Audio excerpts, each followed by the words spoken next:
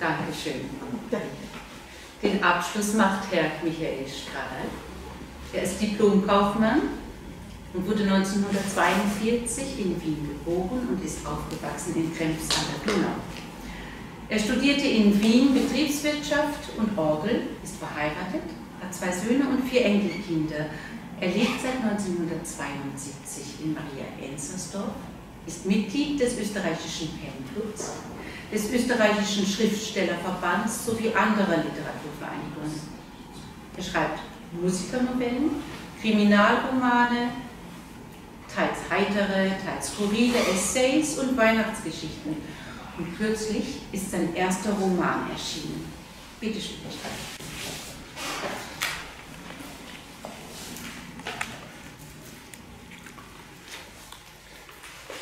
Also mal guten Abend und vielen Dank für die Einladung, vielen Dank für die Einbegleitung äh, zu der heutigen Lesung. Das Thema dieses Abends hat mich sofort daran erinnert, dass ich vor einigen Jahren einen Einakter geschrieben habe, und zwar für meinen Neffen, der ein Schauspieler ist. In der Hoffnung, dass er vielleicht einmal diesen Einakter, nämlich ein Ein-Personenstück, irgendwo einmal zur Aufführung bringt. Dieses Stück heißt Der andere Sohn und behandelt die bekannte Thematik des verlorenen Sohns aus dem Evangelium, wo der schwer zu verdauende Satz drinnen ist, dass im Himmelreich über einen reuigen Sünder mehr Freude sein wird als über 99 Gerechte. Das muss jemand, der sich für einen Gerechten hält, ziemlich heftig sein. Nicht? Und dieser, dieser Einakter handelt eben von dem Bruder des verlorenen Sohns, dem Älteren. Bei mir heißt er Migos, der andere ist der Kecham. Und der mit, diese, diese Geschichte des, äh, des anderen Sohns ist dreigeteilt. Am Anfang ist es der Zorn, weil der Kecham, der, der ins, in die Welt gezogen ist, der war nicht sehr fleißig, der war nur immer beliebter am Hof. Den haben die Leute lieber gehabt als den Migros, aus welchem Grund immer. Der zweite Teil ist dann Besinnung. Er überlegt dann, was er so, ob da nicht doch etwas dran ist, was man ihm so äh, sagt. Und der dritte Teil ist dann die Erkenntnis, wo er mit seinem Vater spricht und der ihm darauf aufmerksam macht, dass du du bist fleißig, gut und alles, aber du kennst die Barmherzigkeit nicht. Und das ist dann der Schluss dieses Stückes. Ich möchte Ihnen heute, weil das sonst zu lang wäre, den Zornteil vorlesen. zu Beginn ist niemand auf der Bühne. Man hört gedämpftes Durcheinander. Es hallt von einer Stelle des Hauses her vereinzeltes Lachen. Es ist ein Fest im Gange. Und allmählich wird aus dem Stimmengewirr eine Männerstimme deutlich hörbar. Es nähert sich jemand dem Raum und das wird immer klarer. Man versteht, so geht das nicht. Oder kommt ja nicht in Frage, nicht mit mir. Und nun tritt Migos ein. Ohne mich, ruft er. Lasst euch nicht aufhalten in eurer Freude. Er wirft die Tür zu, ziemlich laut. Eigentlich wollte er den Türgriff noch abfangen, hat ihn aber nicht mehr erreicht. Krach, die Tür ist zu. Er beobachtet die Tür und wartet, ob seine Mutter ihm nachkommt. Er hat nämlich abgelehnt, beim Festmahl teilzunehmen. Wenn Mutter jetzt hereinkommt und mich wieder ansäufert, dann gibt es wirklich einen Wirbel. Mir reicht es nämlich. Was zu viel ist, ist zu viel. Wer bin ich denn hier, dass man glaubt, über mich drüber fahren zu können? da sich einige Zeit lang nichts tut. Also Mutter kommt doch nicht. Gut so. Ihr Glück, denn bei aller Zuneigung, das lasse ich mir nicht gefallen. Kann ich auch gar nicht. Wie stehe ich denn da vor den Knechten und den Mägden? Die lachen sich hinter meinem Rücken krank, wenn ich gute Miene zum wahrhaft bösen Spiel machen muss an einer festlich gedeckten Tafel sitzen und zuschauen, wie Vater und Kecham einander ständig umarmen und Mutter sich vor lauter Tränen nicht fassen kann. Kaum ist dieser Tauge nichts wieder im Haus, schon werde ich, Migos, einfach vergessen. Dem man diese Neuigkeit, und weiß Gott eine Neuigkeit, wer hätte das gedacht, dass er wiederkommt, vielleicht persönlich mitteilt, auch wenn ich nicht im Haus bin, sondern am Weinberg, weil ich ja arbeiten muss. So ist das nämlich. Man hätte zuerst zu mir schicken müssen. Ich bin schließlich heute schon der Herr im Haus und auch der Ältere. Für Vater war es zu mühsam, das sehe ich ein, seine Beine tun nicht mehr so mit, er hat auch einen kurzen Atem, aber Mutter hätte ruhig kommen können. Die ist noch ganz gut zu Fuß, aber auf die Idee, einen Knecht zu schicken, auf die Idee ist weder er noch sie gekommen. Aber das muss man verstehen. Na, ist doch klar, ne? ist es doch viel wichtiger, durchs Haus zu laufen, um für den verlotterten Herrn Sohn gleich die besten Kleider zu holen, weil der war ja in verdreckten Fetzen, hat man mir erzählt. Die Knechte haben mir das gesagt. Und mit welch freudiger Stimme sie das berichtet haben.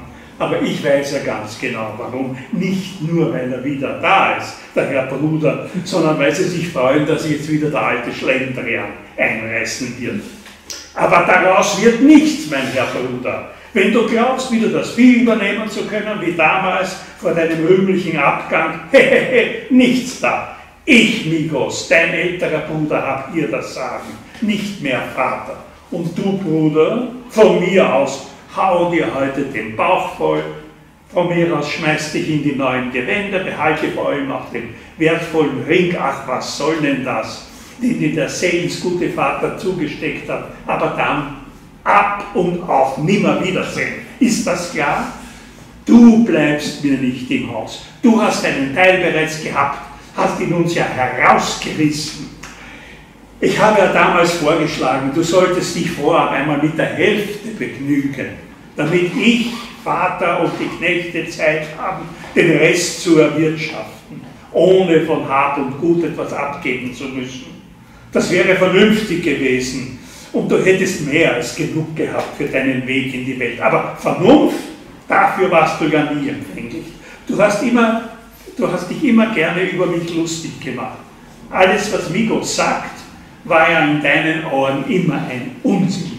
Himmel noch einmal. Und ich, Depp, habe auch noch angeboten, gewissermaßen für dich und das viele Geld, das du verlangt hast, zu arbeiten. Jawohl, zu arbeiten. Falls sich der Herr feine Bruder vielleicht daran erinnert, was das ist. Deine Stärke war das ja wirklich nie. Wie eindringlich habe ich Vater gewarnt, bei den Bruderkechern nicht alles auf einmal in die Hand zu drücken. Weil er hat ja noch nie mit Geld umgehen können. Er konnte sich nicht einteilen, nicht alles auf einen Sitz ausgeben und vor allem nicht dauernd überhöhte Preise zahlen. Doch was hat Vater darauf erwidert? Wenn er es unbedingt will, hat er in seiner Hilflosigkeit gemeint, dann soll er es haben. Es gebührt ihm. Gebührt, dass ich nicht lache. Gebührt hätte ihm ein in den Hintern, damit er endlich lernt, Hand anzulegen bei der täglichen Arbeit am Hof. Wie habe ich auch auf Mutter eingeredet damals? Ihr erklärt, was es für ein Wahnsinn ist, so viele Tiere zu verkaufen, nur damit der Herr Sohn in die Welt ziehen und sein Glück machen kann. Oder das, was er für ein Glück hält statt dass ich Vater dazu gebracht habe, gleich am klar zu machen, dass er uns alle schädigt, statt dass sie gesagt hat, wie kommt denn dein braver Bruder Migos dazu, ab jetzt alles allein machen zu müssen, hat sie nur gemeint, dass er halt genau wisse, was er wolle, dass er alt genug sei.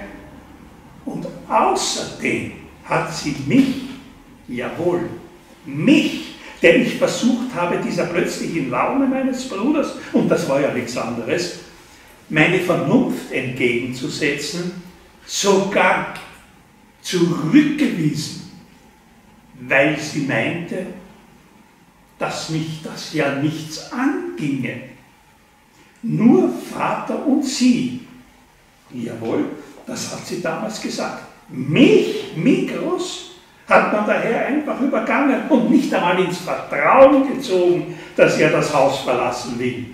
Weder Vater noch Mutter, weil es mich halt nichts angegangen ist. Ah, wenn ich da noch dran denke, kommt mir wieder die Wut hoch. wir müssen dir etwas sagen. Mikros hat meine Mutter an dem Abend nach dem gemeinsamen Mahl plötzlich gesäuselt. Stell dir vor, dein Bruder Kecham wird uns verlassen.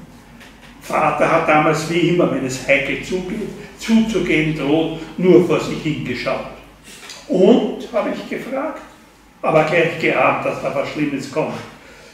So wie mich Kecham schadenfroh angegrinst hat, da war mir klar, jetzt kommt wieder eine seiner Teufeleien. Ja, habe, habe ich damals gefragt, will er uns verlassen? Gefällt es uns nicht mehr bei uns? Gefällt es ihm hier nicht mehr? Weil er es so will, hat Vater gebrummt und Kecham einen liebevollen Blick zugeworfen. Er will einfach in die Welt hinaus und wir haben uns schon mit ihm geeinigt, sagte, meine, sagte Mutter. Dabei hat sie Kechams Hand getätschelt. Dass wir, wir haben uns geeinigt, dass wir ihm sein Erbteil auszahlen. Ach so, will heißen, dass Kecham die beiden bereits eingekocht hat und damit wohlweislich vermieden hat, damit ich ein, nicht einbezogen werden kann. Schon geeinigt, na wunderbar, da war mir klar, was kommt. Wie viel ist denn das, habe ich gefragt und habe dann nur das Ausmaß über das Ausmaß eines geforderten Erbteils nur den Kopf geschüttelt. Das war viel zu viel, viel zu viel. Ich habe Vater damals ganz genau vorgerechnet. Er hat schließlich und endlich ja mir die Geldverwaltung anvertraut, dass es nicht zu viel ist und vor allem, dass wir damit unser aller Habe, auch das Altenteil für Vater und Mutter, empfindlich geschwächt wird und überhaupt. Der Kerl wollte alles in Gold und Münzen haben und zwar jetzt und sofort. Ob denn das wirklich notwendig ist und so weiter.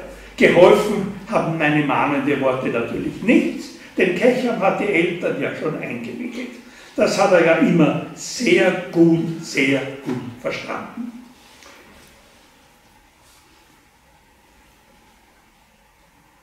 Ach, sie hatten schon an alles gedacht. Sehr ungewöhnlich, dass mein Bruder überhaupt einmal an etwas denkt. Meist denkt er ja nur an sich, alles andere ist ihm wurscht. Er hat nämlich, jetzt die Mutter ihm flüsterte fort, bereits mit dem Kaufmann Adalon gesprochen und mit dem alles abgemacht. Den kennst du ja. Na und ob ich den kenne.